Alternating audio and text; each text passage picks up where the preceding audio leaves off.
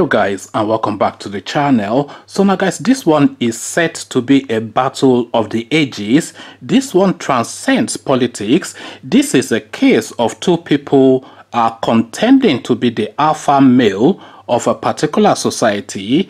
Imo State I am talking about as guys I bring you this.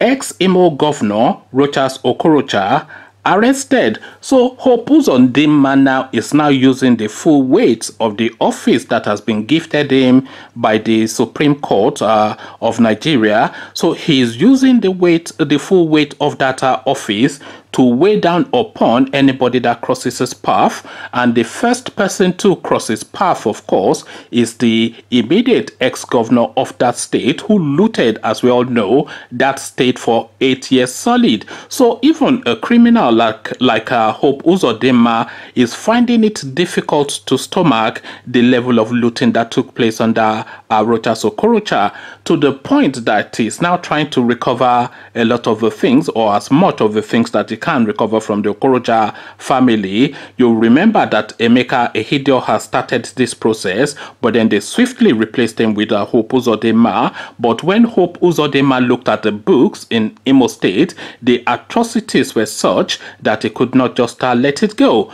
Again, the headline, ex-Imo governor Rochas Okorocha arrested. So now let's now see what the latest installment in the never-ending drama in Imo State is. The police in Imo State on Sunday arrested a former governor of the state, Rochas Okorocha, after a fracas over the sealing of a hotel belonging to Mr. Okorocha's wife by the state government. A photo being circulated on WhatsApp showed the former governor sitting along a corridor of a building that looks like a police station. Mr. Okorocha's aide, Ebere Nzuwaji, confirmed this on Sunday evening that the former governor has been arrested and is being detained at the police headquarters in Owerri. He has been arrested by the police on the order of the governor, Mr. Nzewuji said. The police are telling him that he's under arrest and it is so clear now that he's been arrested and he is being detained. Mr. Okorocha, a serving senator, is accused of forcefully unsealing his wife's hotel, Royal Spring Palm Hotel Owerri, which was sealed two days ago by the Commissioner for Lands and Physical Planning on behalf of the Imo State government. The commissioner said the hotel was built without permission on government land, but Mr. Okorocha's aide, Mr. Nzewuji, denied that the senator tried to unseal the property. When he arrived at the premises, they were confronted by thugs who had guns and machetes and they were attacking him and his entourage. He, Okorocha, can't go there to make trouble. He went to ask questions. A staff member was beaten up.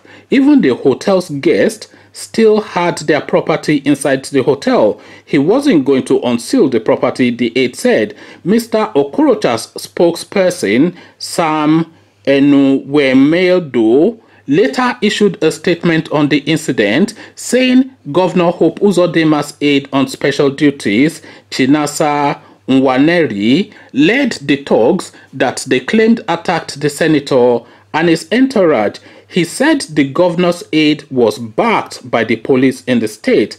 The police spokesperson for Imo State, Ikeokwu Orlando, declined comment on the incident, saying he was not briefed on it.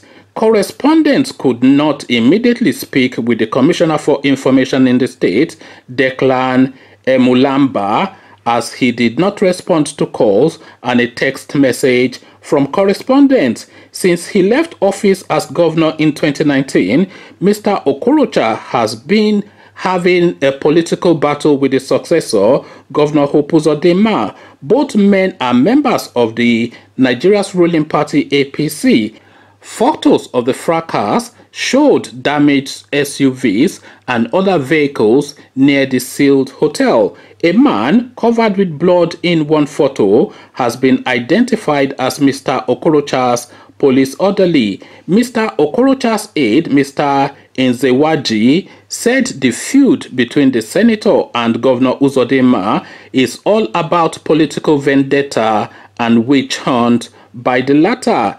It is all about political vendetta and witch hunt, which is not far from the 2023 presidential election. Senator Okorocha is seen as the brightest star to come from this part of the country and some people outside the region are using his brothers there to embarrass him. He said, Mr. Nzewaji called on President Muhammadu Buhari and political leaders in the country to intervene in the feud between Okorocha and Governor Uzodinma. So Governor Uzodinma and Rochas Okorocha, I mean, a plague on both their houses, I'm sure, is what the Imolite would uh, say to this particular situation as they sit back and uh, watch with their popcorn and just laugh at these two rather comical individuals. So uh, there's nothing really to recommend any of these two elements to anybody in Imo State. Rochas Okorocha, of course, a very lost looter. Look at the hotel that he just built for his wife in that state. Look at the opulence. Where, where is the money coming from? And that is just one of our thousands of our assets that he has within that state when he used the whole of the eight years of his tenure to just feather his own nest and make himself fatter, especially in his uh, bank account. This is exactly what he did. He just looted that whole place for eight solid years to the point that Hope Uzodinma who is no saint himself, and rather, and far from being a saint, he's actually a steeped in the war criminal himself, Hope Uzodimma. So even an Ogbologbo like Hope Uzodimma himself could not bear the level of looting that he saw in the books when he perused the books of our of, of our Imo state to see exactly what happened in the tenure of our Okorocha to the point that this guy he's just gifted his wife uh, government land and then used government uh, funds to build a hotel on it and then handed over the keys to his wife. This is exactly what Rochas Okorocha did. This guy is just unbelievable.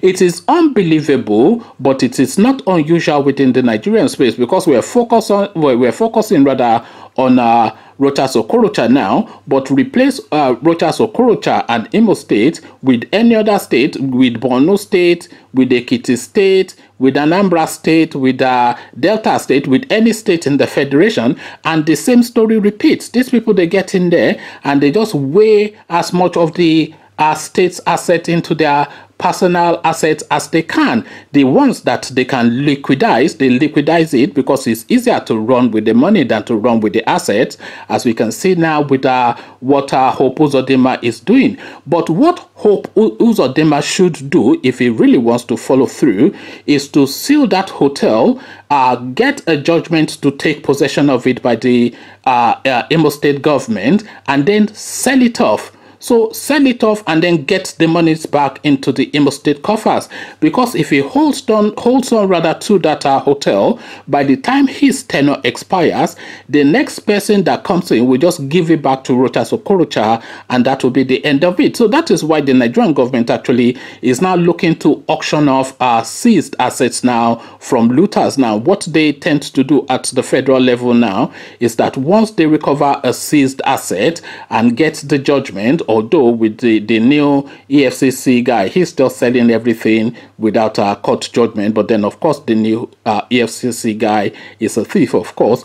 But really, the template, the policy of the Nigerian government is once those assets are recovered and there's a judgment to uh, put the ownership to the government. The government then immediately, immediately rather auctions it off so that then that uh, asset is gone permanently from the looter and there's no way of reversing it back. So this is what they should do in Imo State with all of the assets that they're recovering from Okorocha. So if they auction it, then they can use some of the monies that is stole from the state to come and try and buy uh, what he stole from the state back, and then maybe some of that money then can come back to Bye. Imo State. Conversations in the comment section, two fighting, but two fat boys, of course, in Imo State uh, who are fighting, and there's nothing more comical than watching two fat, fat, fat boys uh, fight.